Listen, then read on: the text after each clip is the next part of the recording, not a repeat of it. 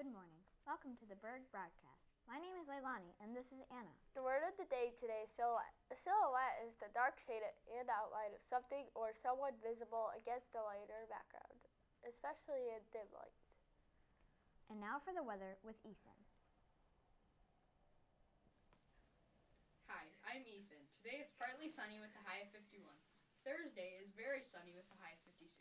Friday is super sunny with a high of 61. There's also a big storm coming. Show tryouts are this Thursday, either after school or during flex in the Kirkus' room. All talents are welcome, including student created videos, animations, singing, dancing, comedy, juggling, and more. Congratulations to the students who accepted into Shiawassee Scholars. Thanks for watching and have a great day.